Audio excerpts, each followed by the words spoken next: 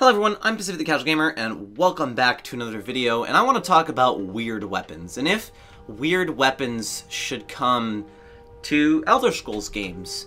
Um, you know, I'm playing Oblivion, and what I noticed about Oblivion is some of the cooler weapons are katanas and cutlasses, but they're not very good. You know, the Akaviri katanas, they're not as good as a Daedric, for instance, longsword. The steel cutlasses, or I believe they're called cutlasses, sabers, you know, they're not very good weapons. I mean, they're good low-tier weapons, but, you know, they're not really good. And there's no spears, there's no crossbows, there's no, like, one-of-a-kind type of weapons. And I want to ask you guys, should there be more weirder types of weapons in Oblivion? Like, for instance, a bo staff, you know, would you, would you guys like if there was a character that gave you, like, one bo staff, and it was, like, hand-to-hand skill, where the bo staff you could find maybe not like glass steel Daedric bo staff, but like you had this bo staff and it scaled up like hand to hand, or a crossbow. You know, you had a crossbow, and there's like a crossbow quest line to get different versions of the crossbow. You know, would you like weirder weapons like that? Because I remember way, way, way back. Um, when Skyrim added, I want to say it was crossbows to the game, that was a big deal. For some reason, it was a big deal.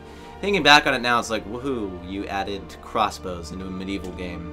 You're so smart, Bethesda. You know, but, you know, weird weapons like that. Would you guys like weird weapons in Elder Scrolls? I know I would. I like, um, especially some of the Daedric weapons in, um, Skyrim and some of the weirder weapons, you know.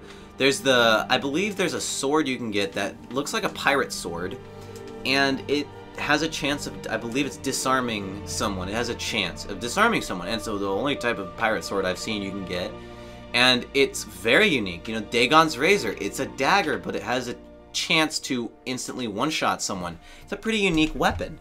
Wabbajack's a unique weapon, you know, and Sanguine Rose. Those are both, and Skull of Corruption, and Mannimarco's Staff. Those are all weird, weird, weird staffs that are one of a kind, but I think adds so much to this game because you like look at them and you're like, well, this weapon on its own is pretty weird. But if you think about it, Mannimarco's staff can be really useful if you need to conjure something, right? Let's say you need a summon to tank, and you don't have any magic and you don't have any scrolls. It's like, oh, here's this other way of solving your problem. Or maybe you just killed a really powerful enemy that you want to fight for you. Boom, there you go, you know?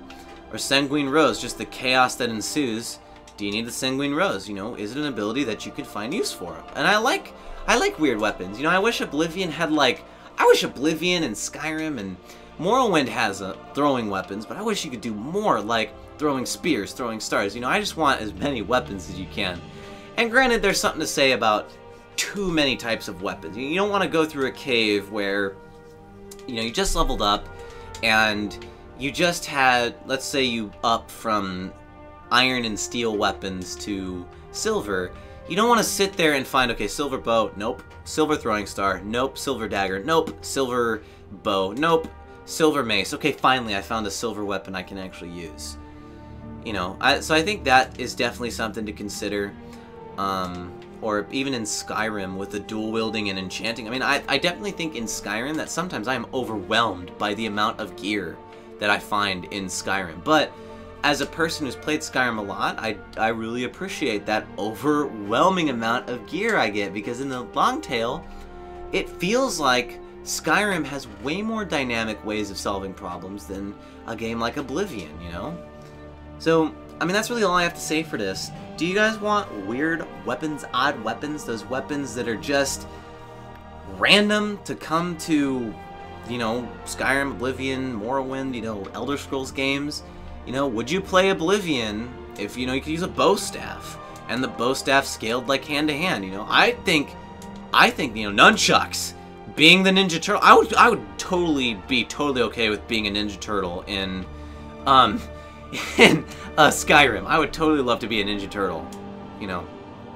But, on the other hand, there's already a lot of different gear combinations you can come up with in these games.